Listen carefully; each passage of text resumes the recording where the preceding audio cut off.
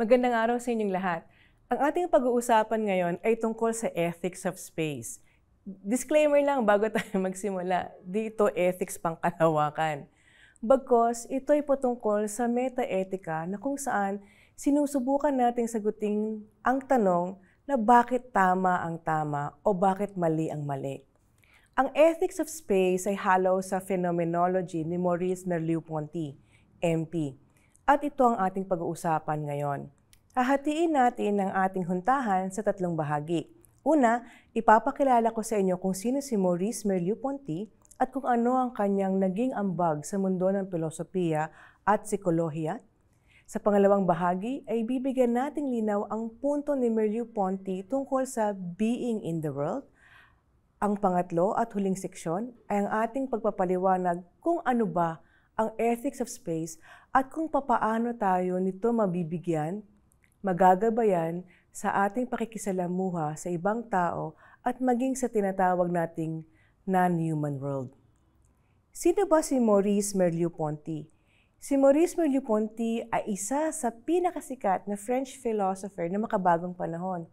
Siya ay isang filosopo at psychologist, kaya makikita natin sa kanyang mga philosophical texts na maraming psych cases ang kanyang ginamit upang mabigyang linaw ang mga konseptong kanyang tinatalakay. Si MP ay nabuhay sa panahon na kung saan ang mundo ay dumadaan o dumaan sa dalawang digmaang pandaigdig. Ipinanganak si MP noong March 14, 1908. Nang mamatay ang kanyang ama sa World War I, ang buong pamilya ni Merleau-Ponty ay lumipat sa Paris. Si MP ay malapit sa kanyang ina hanggang ito ay mamatay noong 1953. Si Merleau-Ponty ay hinulma ng mga hamon na kinaharap ng kanyang panahon. Siya ay nagsilbing lieutenant noong World War II at dahil dito, ginawaran siya ng France ng Croix de Guerre dahil sa kanyang kagitingan noong pangalawang pandaigdigang digmaan. Pagkatapos ng digmaan, bumalik si MP sa akademya siya ang pinakabatang pilosopo na naging tagapangulo ng Departamento ng Pilosopiya sa College de France, ang pinaka-prestiyosong posisyon na makakamit ng isang pilosopo sa France. Maraming libro at artikulo ang sinulat ni MP, pero ang dalawang pinakasikat niyang libro ay ang The Structure of Behavior at ang Phenomenology of Perception. At ang ating pag-uusapan na Ethics of Space ay galing sa libro niyang ito. Merleau-Ponty, Phenomenology of Perception at ang Being in the World. Bago natin simulan ang pagpapalalim ng konsepto ni MP ng Being in the World, dapat nating malaman na hindi si MP ang naunang lumikha ng konsepto ng Being in the World. Si Edmund Husserl na itunuturing na ama ng phenomenology ang siyang bumuo at naglinang ng konsepto at idea sa likod ng being in the world. Sa gintong punto, si MP ay tinuturing na isa sa mga haligi ng phenomenology. At ang isa sa mga tanong na siniyasat at binigyang toon ni MP ay kung papaano ang tao ay nagkakaroon ng perception. Ang tanong na ito ay hindi bago. Libong taon na itong sinasagot ng mga scholar at pilosopo, ngunit ayon kay MP, may kulang sa mga naging sagot ng mga nauna. Ayon kay MP, mayroong kakanyahan ang mga tao na maramdaman ang mga bagay na nasa ating fisikal o material na mundo. At ito ay dahil sa ating katawan. At ang fisikal na mundo ay iisa. Iisa ang konstitusyon. Ang mga atoms na nasa halaman, nasa bato, nasa hayop, at nasa ating katawan ay iisa lamang. Sa fundamental na level, walang pagkakaiba. Dahil dito, ang ating physical na katawan ay naka-embed sa material na mundo. Embedded. Ito ang unang pakahulugan ni MP sa being in the world. Kaya hindi pwedeng sabihin ng sino man sa atin na, na siya hihiwalay sa mundo. Ang physical na mundo at tayong tao ay iisa. Walang ibang mundo para sa ating mga tao kundi ito embedded.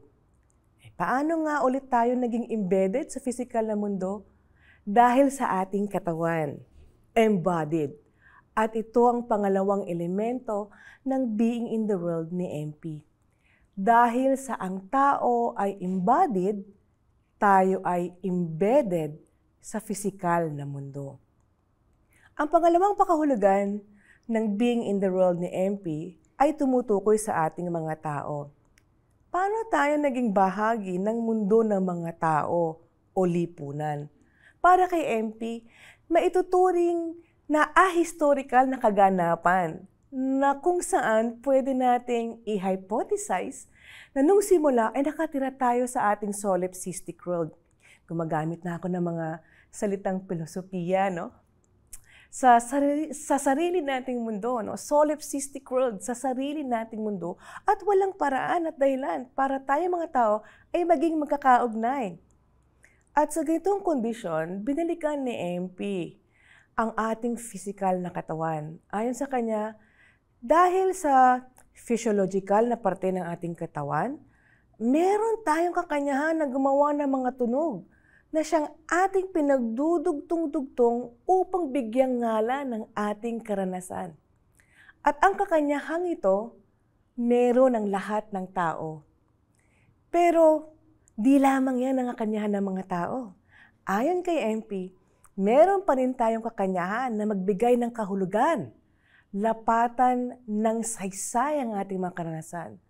Dahil dito, ang ating fisikal na katawan at ang ating kakanyahan na magbigay ng kahulugan sa mga tunog na ating nilikha ang siyang naging daan upang ating makonekta ang ating mga solipsistic world sa isa't isa. Kung kaya, dahil sa ating mga karanasan, kakanyang limikha ng mga tunog at lapatan ito ng kahulugan, tayo bilang mga tao ay nakakalikha ng mundo ng mga tao na kung saan ang magkakatulad nating experiences, expressions at wika sa mundong ating nilikha ay nauugnay tayo sa isa't isa. Kung kaya, ang being in the world ni MP ay nangangahulugan na tayo ay embedded at embodied sa pisikal na mundo at mundo ng mga tao. Tayo ay bahagi nitong dalawang mundong ito at walang ibang mundo para sa atin. At dito natin maunawaan ang ethics of space. Space o espasyo. Ayon kay MP, ang space ay hindi isang background kung saan nagaganap ang lahat. Bagkos ang lahat ng ating nararanasan at karanasan ay nagaganap sa gitna ng space na ito. Bakit? Dahil sa ating pagiging embodied. Dahil sa ating embodied embeddedness. Tayo ay bahagi ng ating mundo. Mundo na kung saan tayo ay konektado dahil sa ating pisikal na katawan at sa mundo ng mga tao na ating nilikha batay sa ating mga kumon na karanasan at dahil dito, dapat natin itong ingatan. Walang ibang espasyo para sa tao, kundi ang mundong ito. Dahil dito, tayo ay nakaugnay. Dahil dito, tayo ang lumilikha. Sa ganitong pananaw, subukan nating tanungin, ano ang tama? Ano ang mali? Ano ang dapat gawin? Ito ang mga tanong na na basic no, sa ethics sa pagkukonsidera ng ating pagiging embodied embeddedness, ang ethics of space ay magsisilbing gabay upang ating makamit ang tamang desisyon at tamang aksyon.